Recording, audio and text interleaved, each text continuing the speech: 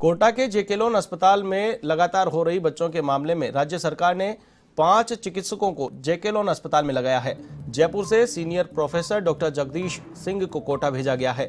जयपुर से शनिवार को उनको रिलीव कर दिया गया। Doctor Jagdish Kota medical college के पीडियाट्रिक डिपार्टमेंट में एचओडी बनेंगे। इसके साथ ही सरकार ने चार नए सहायक आचार्यों को भी कोटा में नियुक्ति दी है। नए सहायक आचार्यों में doctor Shivlal Meena, doctor Chetan Meena, doctor Mamta Bajad और डॉक्टर मोहम्मद अज़ीज़ शामिल हैं।